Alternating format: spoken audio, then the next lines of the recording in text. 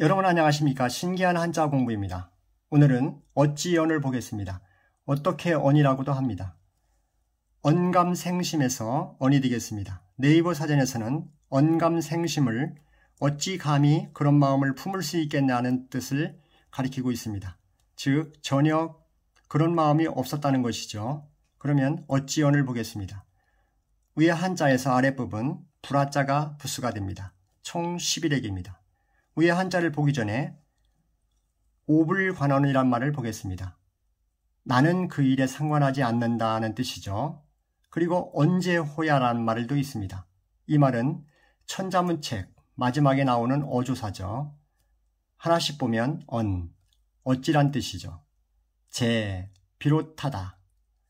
호, 뭐뭐느냐, 뭐뭐랴. 야, 뭐뭐이다, 뭐뭐느냐, 뭐뭐도다, 뭐뭐구나. 참고하시면 좋겠습니다. 언제 호야. 그리고 언감생신, 잘못된 말입니다. 신은 심으로 생각하셔야 됩니다. 언감생심. 언감생신은 잘못된 말입니다. 그리고 어찌어는 바를 정자와 세조자의 결합입니다. 참고하시면 좋겠습니다. 그리고 위에 있는 바를 정자는 자신들이 적을 정벌하러 가는 것은 정당하다는 의미에서 바르다는 뜻을 생각하게 되었다고 합니다. 참고하시면 좋겠습니다. 그러면 위에 한자를 보겠습니다. 바를 정자. 바를 정자는 저는 고물의 정자를 정으로 보기 때문에 이것과 구분하기 위해서 정으로 기억합니다. 정. 정으로 기억해도 됩니다. 정으로 생각하면서 정을 가져오는 것이죠.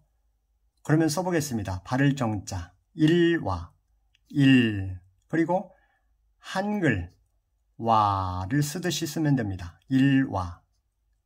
이때 와는 그칠지, 그칠지는 음가가 없는 이응이 있다고 보는 것이죠. 그러면 와처럼 보입니다. 일와, 발을정.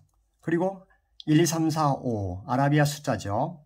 5 써보겠습니다. 5 그리고 점넷 연하발 하나 둘 셋 넷 그러면 정오발 이렇게 됩니다. 어찌어는 정오발이 되는 것이죠. 발음하시기 전에 정오발 씨 사람 이름으로 생각하고 정오발 씨 어찌 된 것이죠? 정오발 씨 어찌 된 일이죠? 이런 생각을 가지고 발음하시면 기억이 상승되겠습니다. 정오발 정오발 어찌연 정오발 정오발 어찌연 정오발 정오발 어찌연 그러면 써보겠습니다. 발을 정자 일와 일와 오발 정오발 어찌연 감사합니다. 좋아요 구독 부탁드리겠습니다.